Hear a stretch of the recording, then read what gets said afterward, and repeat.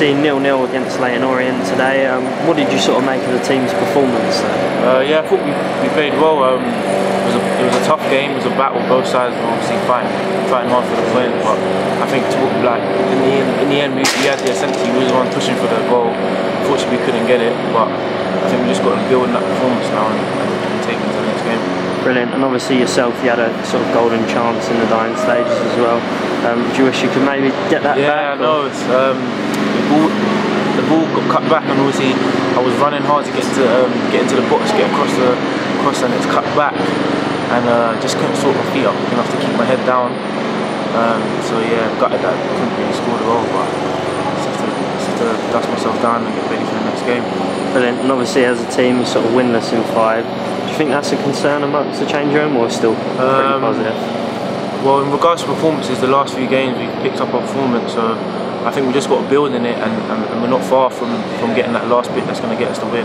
Obviously, we're all, de- we're all desperate for the win, um, but I think we're putting in the right right performances, we're doing the right things, we just got to keep doing them, and, and hopefully next game we can get the three points. Brilliant. And obviously, on a personal note, you sort of spent a bit of time on the sidelines and have been back for the last two. Are you pleased to sort of be back playing? Yeah, obviously I had a I had an injury, so I've been out for about six weeks. Six weeks, so I'm just glad to be back um, fit, and um, hopefully I can build my fitness over the next few games and, and can push on for the rest of the season now. Brilliant. And obviously, it's probably about keeping your place in the team because there's such such big competition as well. Yeah, of course, of course. We've got we've got a big squad. Everyone's got to play their part. So hopefully, um, yeah, I can help the team um, push on and get the wins we need. Brilliant. And obviously, coming up on Saturday, another home match against Hartlepool. I suppose the main thing is to sort of break that winless run. Yeah, exactly. I think if we keep doing what we've done the last two games, keep keep um, putting our front, front keep playing on the front foot, um, I'm sure that we'll get the win. I'm hoping it's next game. Um, so we'll just get back to training and, and work hard.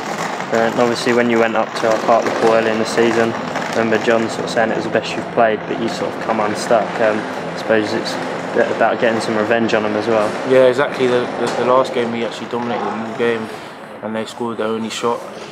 So I think we just got. Um, if we play the same way again, take our chances, then we'll definitely push for the win.